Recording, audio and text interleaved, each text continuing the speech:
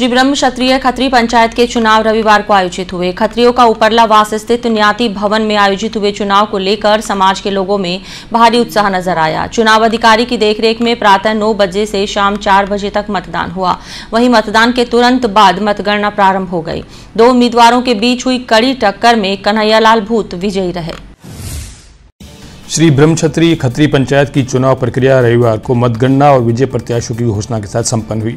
यह चुनाव प्रक्रिया गुरुवार को शुरू हुई थी। चुनाव प्रक्रिया के पहले दिन नामांकन पत्र जमा किए गए, जिसमें चार उम्मीदवारों कन्हैयालाल भूत, जेठमल भूत, वीरचंद वारडे और अशोक छूछा ने अध्यक्ष पद के लिए अपने नामांकन पत्र प्रस्तुत किए थे। वहीं शुक्रवार को नाम वापसी के दिन दो प्रत्याशियों ने अपने नामांकन पत्र वापस ले लिए। इसके बाद चुनावी मैदान में कन्हैयालाल भूत और जेठमल भूत ही बचे। दो प्रत्याशी होने की वजह से रविवार को मतदान प्रक्रिया करवाई गई।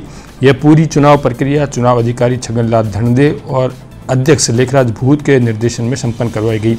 चुनाव अधिकारी छगनलाल धनदे के मुताबिक श्री ब्रह्मचत्रीय खत्री पंचायत के चुनाव के तहत रविवार को मतदान हुआ। खत्रियों का प्रलावास स्थित न्याती भवन में आयोजित हुए चुनाव को लेकर समाज के लोगों ने भारी उत्साह नज़र आया।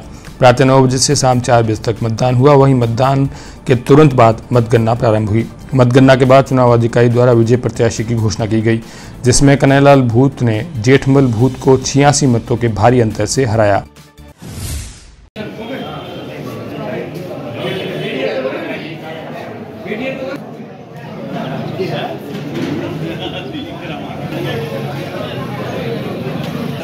धन्यवाद।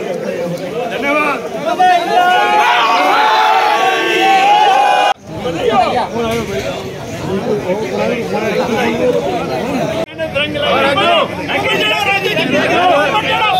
छियासी वोट से जीत हुई है।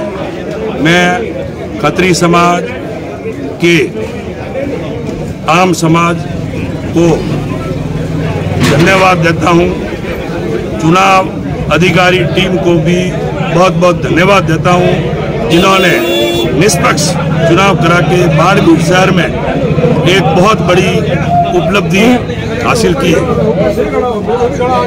मेरे जितने भी कार्यकर्ताओं ने जी तोड़ मेहनत करके मेरी जीत दिलाई, मैं उनको भी बहुत बहुत धन्यवाद देता हूँ। और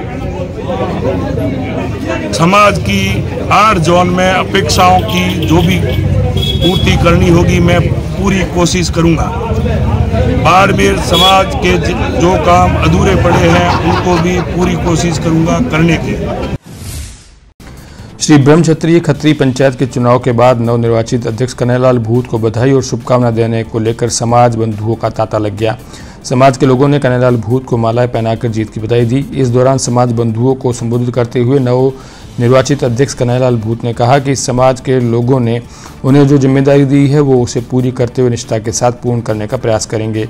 वे हर समय समाज के विकास के लिए तत्पर रहेंगे। उन्होंने चुनाव में समर्थन देने के लिए सभी समाज बंधुओं का आभार जताया।